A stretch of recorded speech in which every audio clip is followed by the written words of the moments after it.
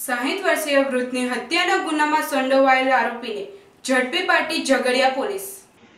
Police સૂત્રે માહિતી મુજબ ઝઘડિયા તાલુકાના નાના અંધારા ગામે રહેતા સાહીઠ વર્ષીય મથુર વસાવા ગત તારીખ બીજી ઓગસ્ટના રોજ ગામની સીમમાં આવેલ પોતાના ખેતર જવા નીકળ્યા હતા. દરમિયાન બાળાબેડા ગામનો રોહિત રમેશ વસાવાનું ખેતર બાજુમાં આવેલું હોવાથી માથુર વસાવા બાજુમાં આવેલ રોહિત વસાવાના ખેતરમાંથી પસાર થઈ રહ્યા હતા. તે દરમિયાન રોહિત વસાવાએ તેઓને મારા ખેતરમાંથી કેમ પસાર થાય છે તેમ કહી ઉશ્કેરાઈ જઈ લાકડી વડે મથુર વસાવાને માર મારી ફરાર થઈ ગયો હતો. વૃદ્ધ મથુર વસાવાને ગંભીર ઇજાઓ પહોંચતા સારવાર અર્થે નેત્રંગના સરકારી દવાખાને ખસેડવામાં આવ્યા હતા. જો કે વધુ સારવાર અર્થે ભરૂચની સિવિલ હોસ્પિટલ ખાતે ખસેડવામાં આવતા. તેઓનું ટૂંકી સારવાર દરમિયાન મોત નીપજ્યું હતું.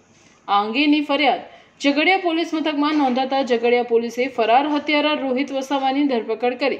વધુ તપાસ હાથ ધરી છે. ગત તારીખ બે આઠ બે હજાર વીસના રોજ નાના આંદ્રા ગામે રહેતા મથુર ગણપતભાઈ વસાવા કે જેમની બાજુમાં રોહિત રમેશભાઈ વસાવાનું ખેતર આવેલ છે.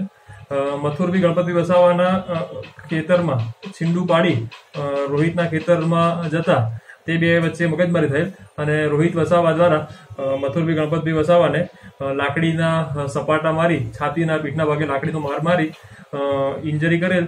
જેથી બે તારીખના રોજ સાંજે ચાર વાગે નેત્રંગ હોસ્પિટલ લઈ જવામાં આવેલ. ત્યાંથી ભરૂચ શિફ્ટ કરવામાં આવેલ. અને ત્રણ તારીખના સવારના નવ વાગે મૃત્યુ પામેલ. જેની કાયદેસરની અ, કાર્યવાહી કરી ફરિયાદ લઈ આગળ અ, રોહિતની તપાસ કરતા અ, રોહિત અ, રમેશભાઈ વસાવાને હાલ હસ્તગત કરવામાં આવ્યા છે અને હાઈકોર્ટની ગાઈડલાઈન મુજબ અ, કોવિડ ટેસ્ટ કરવા માટે મોકલી આપવામાં આવેલ છે इस वीडियो को लाइक करें हमारे चैनल को सब्सक्राइब कर बेल आइकन जरूर प्रेस करें हमारी न्यू वीडियो सबसे पहले देखने के लिए